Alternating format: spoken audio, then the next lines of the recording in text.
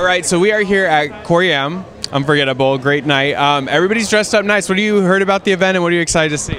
Uh, it's such an honor to be here at the 2014 Unforgettable Gala, uh, to be surrounded by such inspiring um, talent, you know, with Asian Americans, and to be part of such a supportive community of tomorrow's stars. I mean, it's it's it's infectious. It's it's I'm it's such an honor to be here. I'm so excited to be co-presenting the award to John Cho. Uh, his, I loved him in Harold and Kumar. um, and and this is the 13th year I think for Unforgettable. And so lucky 13. I think it's going to be an extra extra good one. Absolutely. Uh, I know you have a show coming out. We've seen the advertisements all on TV. Uh, tell us a little bit about it. Uh, it. It looks kind of like a Monty Python, or, or tell us about it. So I will be co-starring in a new 15th century medieval comedy musical called Galavant.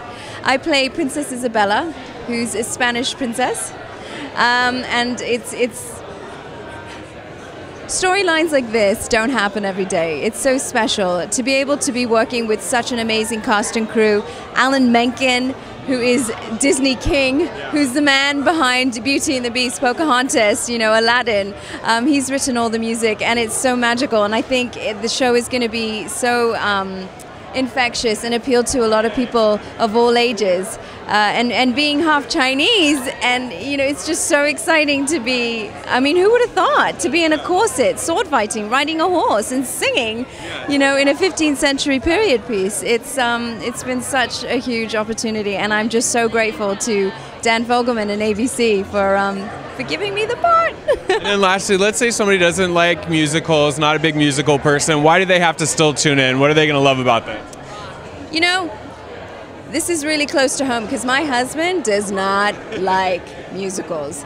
You say the word musical and he is out the other door, you know, but he, when he watched it, he absolutely loved it. I think because it's sort of a twisted, demented fairy tale for adults. It takes the mick out of the whole genre, but in such a wonderful and lovely way. It has the happy endings, but it also has the quirky endings as well.